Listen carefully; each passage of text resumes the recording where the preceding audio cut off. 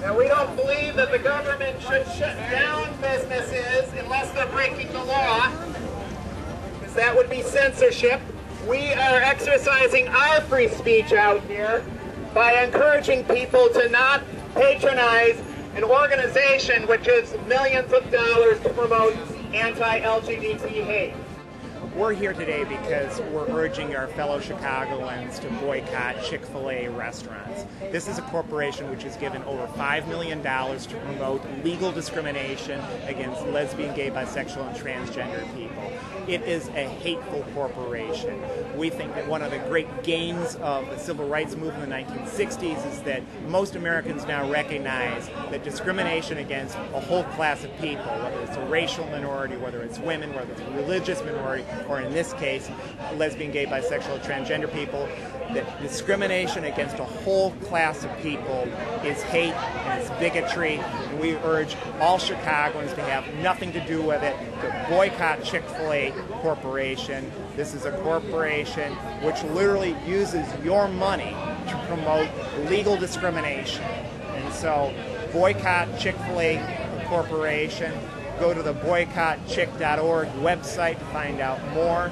Uh, but this is about defending civil rights in this century, uh, promoting equality of people, not discrimination and hate. Boycotts have got a rich tradition in American history, whether the Montgomery bus boycott, whether Cesar Chavez's great boycott, we're launching a boycott here today of Chick fil A Corporation because once again, injustice has reared its ugly head in the United States, and we urge our fellow Chicagoans to be part of that boycott, to stand up and do the right thing and don't patronize Chick fil A restaurants.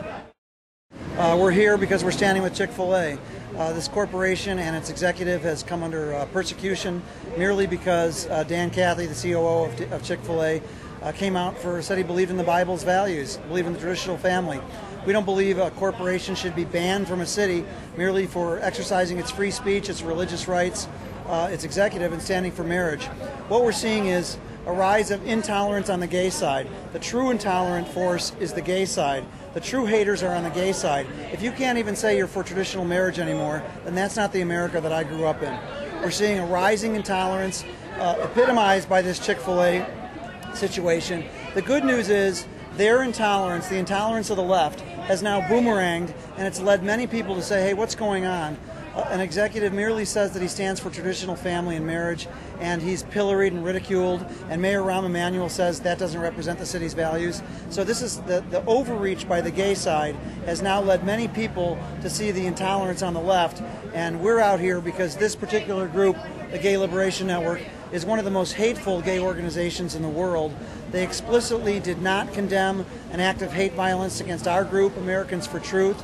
They use all sorts of vitriol to castigate Christians. If you disagree with homosexuality, they call you a bigot, a hater, a homophobe, all these nasty names.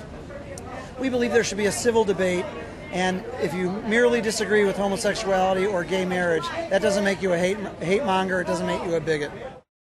The kings of the earth have set themselves and the rulers have taken counsel together against the Lord and his anointed. They say, let us break their bands asunder, let us cast away their cords from us. He that sitteth in the heavens shall laugh, the Lord shall have them in derision. Then, then shall he speak to them in his wrath, and vex them in his sore displeasure. I will declare decree. The Lord has said unto me, Thou art my son, this day I have begotten thee. Ask of me, and I shall give thee the heathen for thine inheritance, and the uttermost part of the earth for your thine possession. Be instructed, judges of the earth, serve the Lord with fear, and rejoice with trembling. Kiss the Son,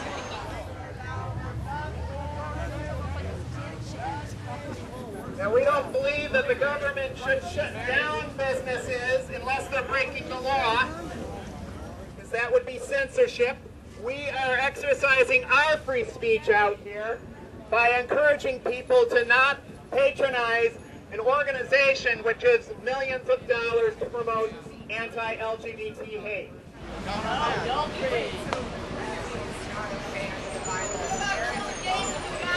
Boycotts have got a rich tradition in American history of free speech, starting with the Boston Tea Party and the boycott of British tea, up through Cesar Chavez's boycott of grapes and grape growers who are committing unjust labor practices against migrant, migrant workers, up through Anita, the boycott of Florida orange juice and Anita Bryant the late 1970s. And that latter boycott especially showed how we can push back against anti-gay corporations and individuals. Because it was thanks to the Florida orange juice boycott and the demonstrations against Anita Bryant that the anti-LGBT tide of that era was pushed back. And that's what we aim to do here with a boycott of Chick-fil-A restaurants. We're out here today in opposition to not, not only the anti-gay position of Chick-fil-A management, but its material support, material support to anti-gay organizations. Some identified by the Southern Poverty Law Center as hate groups. We are asking people boycott Chick-fil-A, don't support an anti-gay business with your patronage. Spend your money at restaurants that are LGBT, lesbian, gay, bisexual, transgender supportive. Don't spend your money at Chick-fil-A. Speaking of groups identified by the Southern Poverty Law Center as hate groups, there's one here today. Americans for Truth about homosexuality. And its leader, Peter LaBarbera, right here today, an anti-gay hate group, so identified by the Southern Poverty Law Center. protest. No. You know Dennis? We are wondering just how marriage equality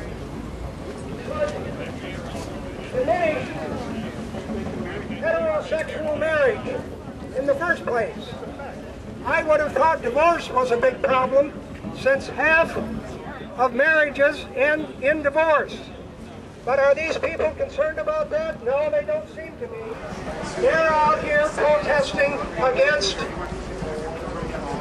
men and women who choose to marry persons of their own sex.